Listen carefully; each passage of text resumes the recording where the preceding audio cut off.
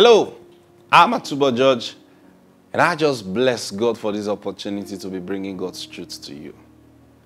It gives me, gives me great joy anytime I sit down here. You know why? Because as I sit down here, I am depending on the Lord completely to give me utterance. So, so we may start from somewhere, and I'm just following the Lord wherever He takes us to. Praise God. But you know, let's just pray. Father, in the name of the Lord Jesus Christ, burdens are being removed right now, yokes are being destroyed. All ignorance is getting out of our hearts, for knowledge has come, wisdom has come. Thank you, Holy Spirit. Jesus said you will guide us into all truth. And that's exactly what you're doing right now in everyone that is listening by social media or by radio right now. Thank you, precious Lord. In Jesus' mighty name. Amen. Praise God. Now, I was telling you something yesterday. We are reading from Romans chapter 10 and verse 10. For with the heart man believes unto righteousness, and with the mouth confession is made unto salvation. I remember telling you yesterday that look, what matters, you know, sometimes a preacher will tell, I was telling you, everything you get ought to be by faith. Now, what do I mean by faith? The word of God comes to you, and then you respond to the word of God. Now, however, whatever you do for the word of God to come to you, it's your business. Because I was explaining something to you yesterday. You know, someone said, I suffered before I got this thing. You suffered till you got the word of the Lord. God never mentioned that somebody must fast for 40 days before he hears God. No. But you see, like I was saying yesterday, it depends on where you were or where you are at. It depends on where you are. Someone, for example, who is in um, Maiduguri and wants to get to Lagos, if he's going by car, someone who's in Ondo State going by car will surely get to Lagos before the person coming by car from Maiduguri. Are you getting what I'm saying? So someone who's at Maiduguri, for example, now takes several hours. In fact, most times it's a two days journey. And then you get to Lagos, and then you're telling somebody, man, Lagos is far. And then you get to um, you get to a state like Ondo State. And then you're giving the testimony to go to Lagos, you will spend two days. I spent two days. And then you don't tell them where you came from. you understand what I'm saying? So it, it looks like to enter Lagos, man, the journey is two days' journey. No, it because it's because of where you were coming from. Praise God. And, and, and, someone else can go by flight. And in one hour, 20 minutes from Maiduguri or so, you are in Lagos. Are you getting what I'm saying? Now, someone who came by road is telling you how hard it is to get to Lagos. And the person who flies is like, what are you talking about? I mean, I just I just had my bath, got to the airport, and then I was in Lagos. I just closed my opened my house in Lagos. I, I hope you're getting what I'm saying. So don't tell people how hard it is. Tell people the essence of after all that struggle, after all that hard time you went through, what was it you found? What was it you found? That is your testimony. Your testimony is not how you suffered. Your testimony is, I found out that this is the word of the Lord. I, the word of the Lord came to me. I, I, I, hope you're getting what I'm saying. I remember one time I was, I, was, I was praying concerning something. This was several years ago. I was praying concerning something. And then I, I, I was believing God for something. And it wasn't forthcoming. So I decided, no, no, no, no, no. Something is, is, is amiss here. So I decided to take three days to fast and pray. Now, in, you know, that's the thing. When you want to fast like that, you proclaim the fast. That's one thing a lot of people don't do. So they fast After the fasting, no results. They kept saying, I believe God has answered me somehow, somehow, somehow. No, you proclaim the fast. What do I mean proclaim the fast? You decide, Father, I, I'm, I'm trying to get your mind concerning this thing. And, and all this while I've been trying, it's not working. So, Lord, I'm setting out this one day or these two days or these three days to seek you concerning this. And within these three days, I'm not going to eat any food or I'm not going to eat any food till 6 p.m. or till 3 p.m., whatever you decide. I'm not going to do this. And Lord, I expect you in this season or during this fast to get my mind clear concerning this. Now, that is how you proclaim a fast. Are you getting what I'm saying? So, I, I, I proclaim the fast like three days. Lord, I believe I'm missing this thing somehow. But I'm setting out these three days to seek your mind concerning this thing. So I started on the first day. And then on the second day, about noon on the second day, the word of the Lord came to me. And he said, Go pick up I remember vividly, he said, Go pick up your 2005 diary and read. Okay, thank you, sir. So I went to my books and I searched out my diary for 2005. And I began to read page by page by page by page. And I, when I was reading, I got to a place where I had written the answer to what I was seeking at this time.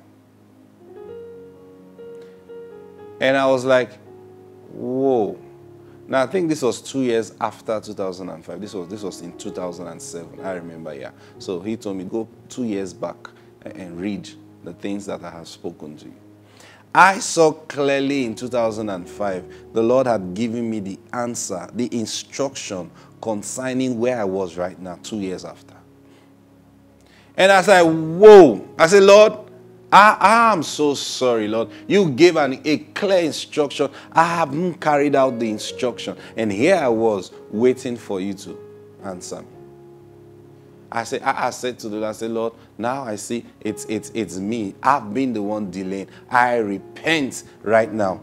I got up. That was the end of my fast. I didn't say, hmm, it's remaining one day. I said I was going to fast three days. Well, I've gotten what I was looking for. So that was the end of the fast. I went ahead and obeyed God, and bam, the miracle I was expecting just happened. Praise God. Now that's how it works. Praise God. So, so don't tell someone, for example, I, I, it's wrong for me to tell someone that I had to fast for three days before I got that result. No. If I was, you see, now imagine if I had just said, oh, let me just pick up my diary and read, you know, what, what all the, to remind myself of the things the Lord have said to me. Now, I began to do that often after that experience. I would have seen it there. And I was like, oh, oh, oh, yeah, okay. See. So when I went before the Lord, He referred me back to what He had already told me. So the testimony there is God had already spoken. Now, all you need to is for God to speak to you. If, if, you, if you have to fast for the Lord to speak to you, do it. Now, that depends on who you are and where you are. You understand what I'm saying? There, there are people who, now, it, it will take, you know, for example, like, like, you know, this happens a lot of times. You know, I'm sitting down with someone and, and giving counsel to the person, or the person is sharing their challenges with me. Now, now, people who are very close to me, they, they, they, they know this because they enjoy it. Uh, you bring up a challenge with me, I'm like, I, I, don't know, I'm trying to sort this thing out. And while we're talking, I'm like, oh, call so and so person. Like, eh, but, but call, call, just call that person. And then they call the person, and it's gone. I mean, the person has an information that will help you, and like, you know. And then sometimes people ask me, ah, you know a lot of people. Now, the truth is, it's not like I know a lot of people. God has blessed me with some good people, yes. But you see, this is it. While I'm listening, I'm listening to the Lord. Now, I don't have to say, now, there are times I'm talking to someone, and like, ah, you know what, can you give me like two days? We'll come back to this. You see? There are other times I'm talking to someone, and then while I'm talking to the person, instantly I say, hey, go and do this, go and do this, go and do this, go and do this. Now, what's going on? It's the voice of God. It's not because I'm too intelligent. It's the voice of God. It's not because I know a lot of people. No. It's the Lord that tells you this person has the answer to this thing. I'm like, okay, why don't we call this person? Yeah, but how, is, how they connected? How they related? Just call the person. And then you call the person. Ah, do you know someone was just talking to me about this thing yesterday? Wait, let me find the person's number. And then it's solved. It's the word of the Lord. Now, the times that I say, give me two days, not because the Lord couldn't have spoken. Sometimes it just happens that your mind is too busy. Yeah. I mean, you're talking to someone, you're trying to understand what the person is saying, but it seems something else is just before your mind. So it is not God, it is us. I, I hope you're getting what I'm saying.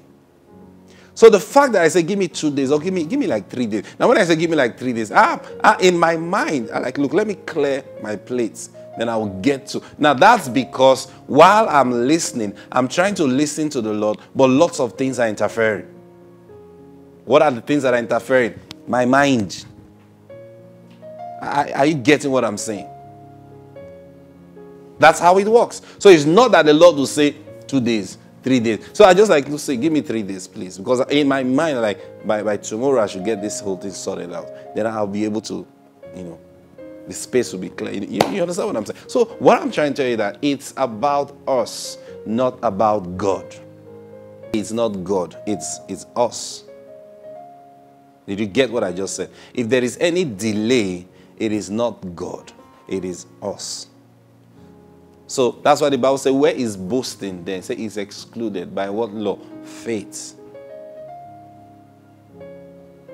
See, by doing the law, no one is justified before God. So there is there is no there is no steps, three steps to gaining prosperity. Now, when you hear all those things, they are, they are just people trying to itemize, you know, things, put it in steps so that you will understand. Not because you must do step number one before step number two and then before step number three. Don't let those things confuse you.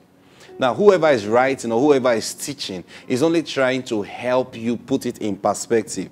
But you see, that's not, it doesn't mean that is how God operates. It's not limited by those steps.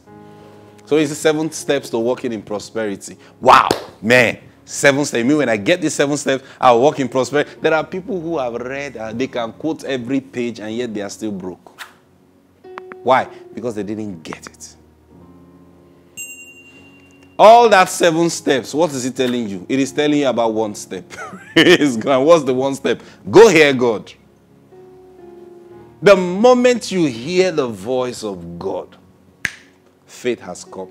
That is what makes the difference.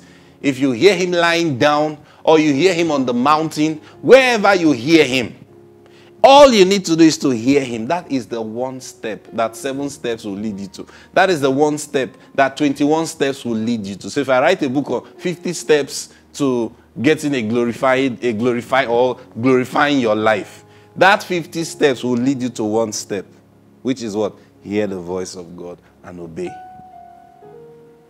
I'm trying to make this thing as simple as possible to you. And I hope you're getting it. Praise God. All right, now let's let's go. Having said all these things, let's now go back to Romans chapter 10 and verse 10. For with the heart man believes unto righteousness and with the mouth, confession is made unto salvation. Now, note what it says there with the heart, one believes. I told you last week, most times it's a believing problem that we have, not a faith problem. There's a difference between faith and believing. Praise God. And I'm going to enter into this tomorrow because our time is up right now. Praise God. But hold this up. The heart, the heart is the powerhouse to your believing. I pray for you today that as you step out today, the Spirit of God will guide you and He will cause you to find pastures today. You will not come back empty today in the name of the Lord Jesus Christ. Amen. I'll see you tomorrow. Bye bye.